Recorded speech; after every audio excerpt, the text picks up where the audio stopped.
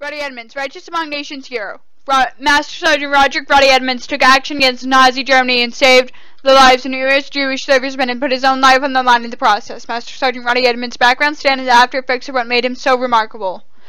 He was born on August 20th, 1919, uh, as Roderick Roddie Waring Edmonds to Thomas Edmonds and Mary Jane Sexton.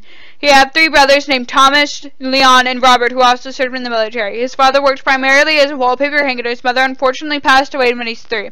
He grew up in at least five different households with his father and brothers. He practiced a simple but strong Christian faith which was nurtured at the Vestal Methodist Church. He grew up isolated from Europe's problems and to a certain degree his hometown in the USA expressed a level of anti-Semitic beliefs. He graduated high school from in 1938. He enlisted in the Army when he was 22 on March 17, 1941 at a fort near Chattanooga, Tennessee. Two years later, Dad had been promoted to Master Sergeant and was stationed at Fort Jackson, North Carolina, and was in charge of training his own men. One such man, Lester Tanner, said he didn't throw his rank around. You knew he knew his stuff and got across to you without being arrogant or inconsiderate. I admired him for his command. Roddie was part of the 106th Division, a group regiment command system that would later become known as the Headquarters Division. The 422nd Infantry Regiment was its parent group. He and his men were untested and green when they were deployed into the late stages of the American landing in Europe. Lester Tanner and Roddie were Lester Tanner was now a junior non-commissioned officer, and Roddie were captured together during the Battle of the Bulge, Germany's last offensive attacks on December 16, 1944, after Allied forces' successful invasion on D-Day.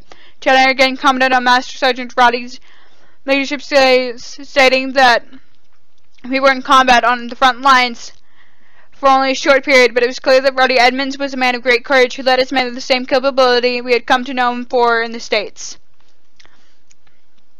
Roddie Edmonds and Lester Tanner and Paul Stern, thousands of other Allied troops were captured during the Battle of the Bulge. They surrendered to the Germans who outmatched them with tanks when they only had rifles.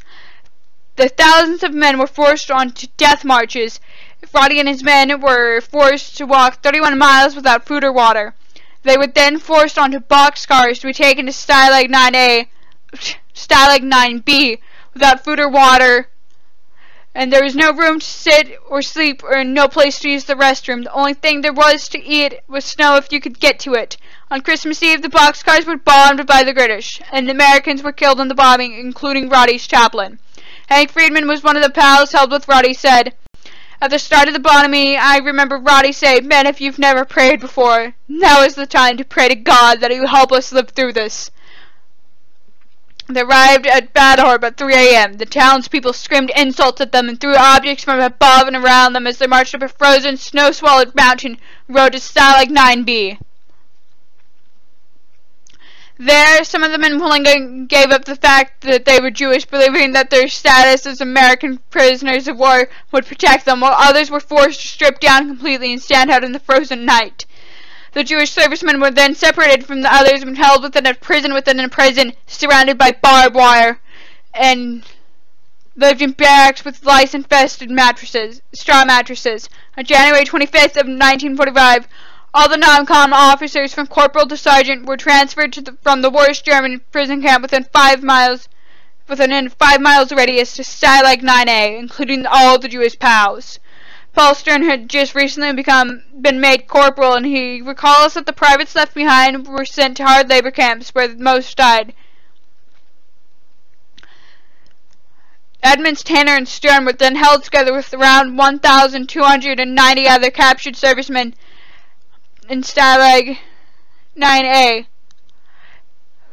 and were held in Barrack 1. Roddie's youngest son, Chris Edmonds, estimated that there are approximately 200 of these men were Jewish, uh, based on the accounts from Lester Tanner and Paul Stern.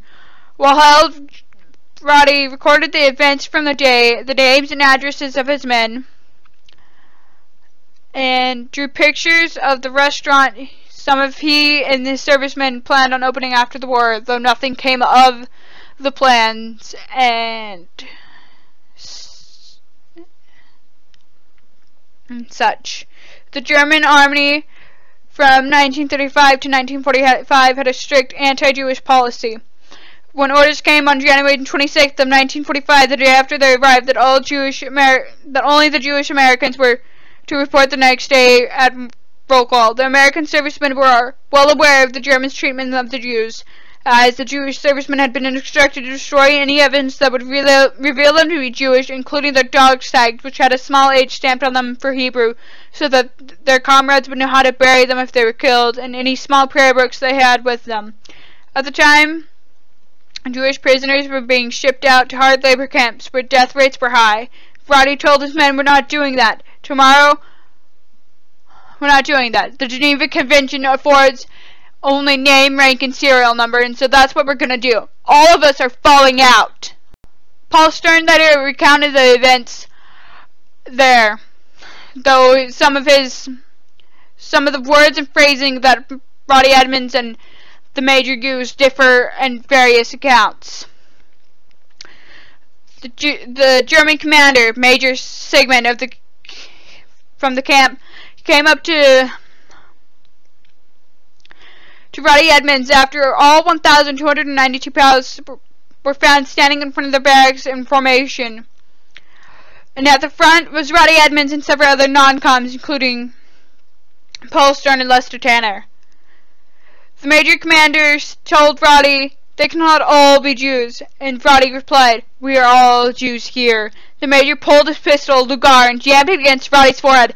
I'm giving you one last chance, Sergeant. You will have your Jewish men. Step forward, or I will shoot you.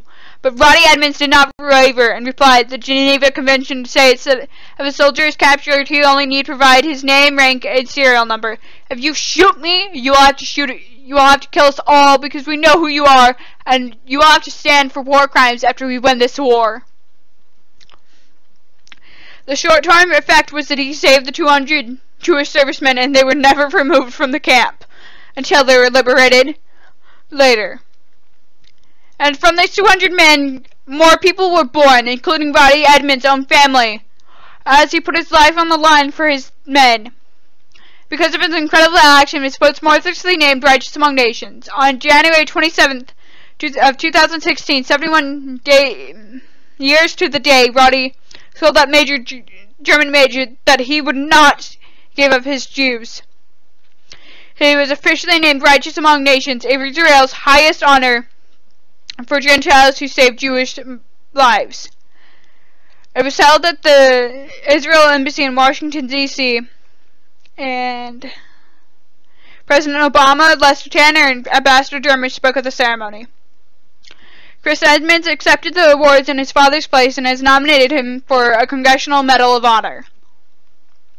He's also founded Roddie's Code, an organization that allows him to go out and meet people who are interested in his father's story and, relate, and recount it to them. After the war, Roddie returned home and married someone and had a daughter with her. He was still in the army and for the Korean War, and during it he divorced. After the Korean War, he returned home to his hometown and married Marianne Edmonds, a woman 16 years his, his junior, and together they had two sons, Mike and Chris. He worked as a manager at the Knoxville Journal and out, out at Oak Ridge. He later got into sales-related work for mobile homes and cable TVs. When he was alive, Roddie, Ed, Roddie coached a few baseball teams. He died on August 8, 1985 from congestive heart failure, 12 days shy of his 66th birthday when Chris was 26. His, one of his great-grandsons was named Roger after him.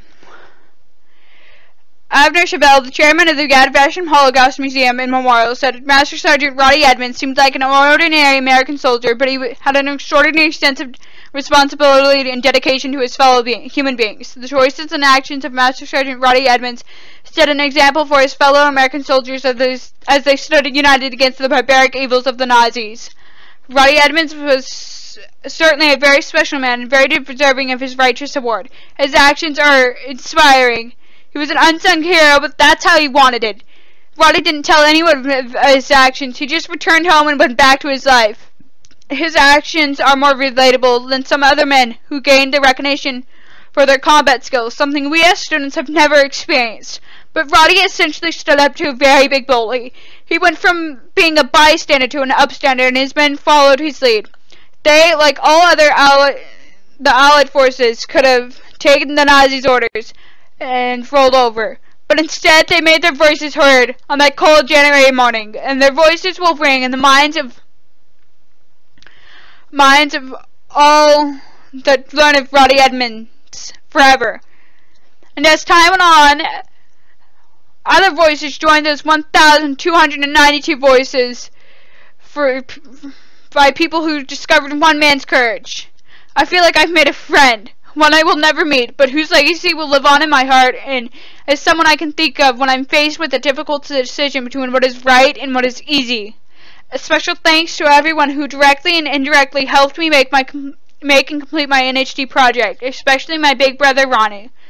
The number of articles out there about Roddie Edmonds is outstanding, and it is wonderful to get to contribute to educating people on his inspiring actions.